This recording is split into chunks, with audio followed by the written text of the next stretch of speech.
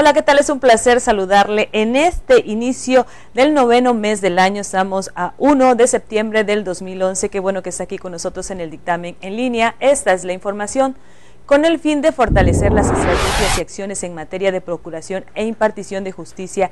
Del 21 al 24 de septiembre se llevará a cabo en tierras veracruzanas la Conferencia Nacional de Procuradores del país, que será encabezada por la titular de la PGR, Marisela Morales Ibáñez, y el secretario de Gobernación, Francisco Bley Mora, teniendo como anfitrión al gobernador del estado, Javier Duarte Ochoa. Dicho evento tendrá como sede la zona conurbada Veracruz Boca del Río, que se convertirá en un búnker ante la presencia de los procuradores de las 32 entidades del país.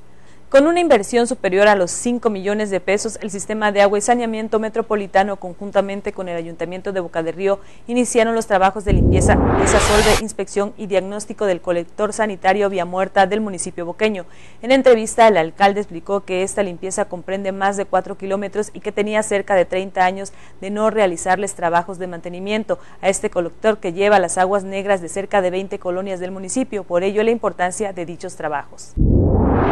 A decir del presidente de la Federación de Colegios de Arquitectos, Adrián Alfonso Palafox Hermida, deben realizarse nuevos planteamientos sobre el esquema normativo para la edificación de construcciones para tener ciudades habitables y acabar con los problemas de viviendas en zonas de alto riesgo como sucede en el sur del país. Hemos visto las condiciones de riesgo que tenemos a veces en nuestras ciudades. Nuestros modelos de planeación desde hace 36 años no se han movido. Tenemos que empujar para que esto se mueva. Tenemos que hacer que nuestras ciudades se vuelvan habitables. Teníamos bellísimas ciudades hasta el siglo pasado. ¿Qué ha sucedido en los últimos 36 años?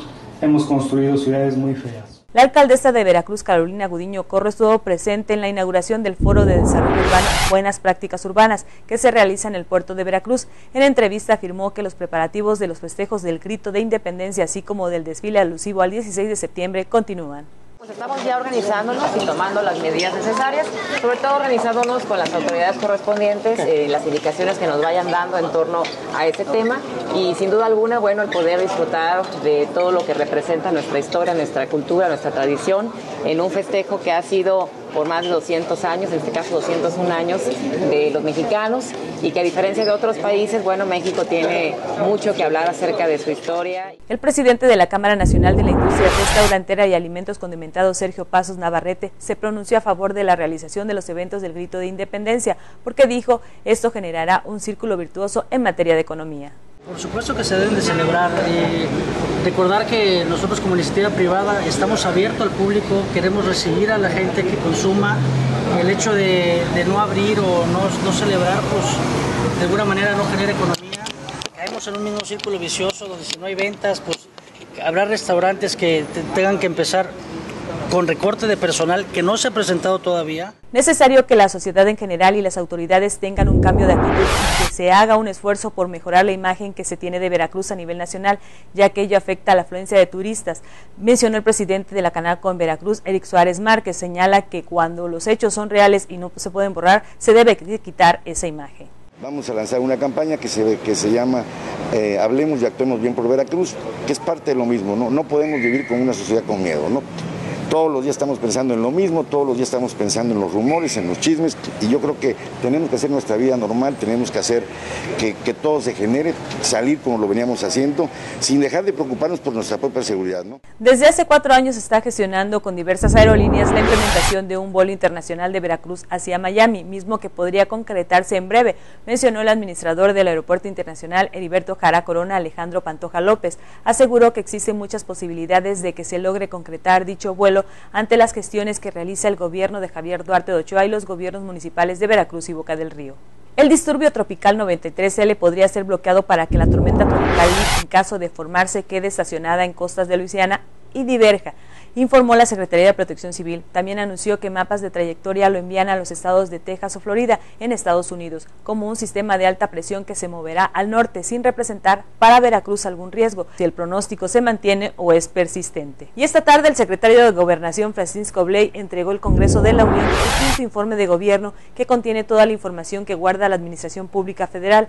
En la primera sesión ordinaria del periodo de sesiones, Blake Mora manifestó la disposición del Gabinete Federal para participar en la glosa del informe, como marca la ley. Cabe mencionar que el Congreso de la Unión inició la sesión a las 17.32 horas con la asistencia de 360 diputados y 91 senadores. El líder de la mayoría republicana en la Cámara de Representantes, John Bowner, negó ayer al presidente estadounidense Barack Obama la posibilidad de dirigirse a la nación desde un pleno del Congreso para presentar su ambicioso plan sobre empleo del próximo 7 de septiembre, una decisión sin precedentes que ha tomado por sorpresa la Casa Blanca.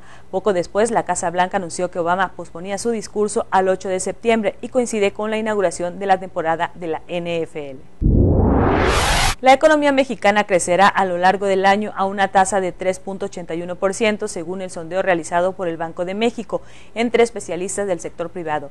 La expansión de la economía es menor a la última proyección, que era de 4.24%. Para el 2012, los especialistas consideran que México tendrá un Producto Interno Bruto de 3.57%. Al presentar la encuesta con especialistas del sector privado al mes de agosto, se informó que la generación de empleos para este año será de 580 mil y para el 2012 se tendría 591 mil fuentes de trabajo registradas ante el Instituto Mexicano del Seguro Social. La capital veracruzana recibió el fuego de la antorcha de los Juegos Panamericanos Guadalajara 2011, antorcha de la paz, fraternidad, unidad y deporte, como la llamó la alcaldesa de Jalapa, Elizabeth Morales García, por lo que la mañana de hoy recorrió principales calles de la ciudad. Con gran aceptación, los capitalinos siguieron de cerca el recorrido de la antorcha, la cual fue portada por grandes deportistas veracruzanos como el atleta Manuel Cortina, doble medallista de oro de los Juegos Centroamericanos de Mayagüez, Crisanto Grajales, deportista ganador de triatlón, de Boca del Río fue el último relevo y fue quien encendió el pebetero olímpico.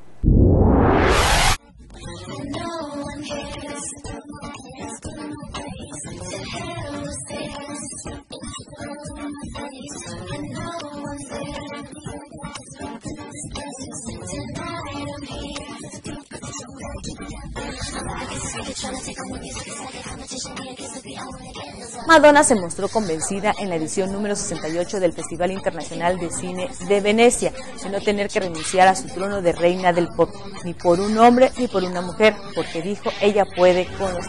Madonna presentó este jueves fuera de concurso en el certamen cinematográfico italiano su segundo trabajo como directora, W, que cuenta la historia de la estadounidense Wally Simpson, cuyo amor por el rey inglés Eduardo VIII la llevó a adjudicar al trono y a quien plantea como un ejemplo de liberación femenina.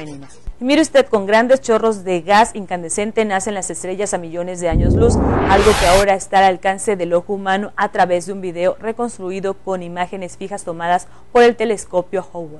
El video publicado en la página web de la NASA ofrece nuevos detalles sobre el proceso de nacimiento estelar en el que se pueden apreciar los chorros de gas que expulsan las estrellas jóvenes con un detalle hasta ahora nunca visto. Las emisiones que se desprenden son un subproducto de la acumulación de gas alrededor de las estrellas recién nacidas y se disparan a velocidades supersónicas en direcciones opuestas a través del espacio. Es todo por hoy, nos vamos. Recuerde que mañana viernes lo esperamos aquí en el dictamen en línea. Pásela bien.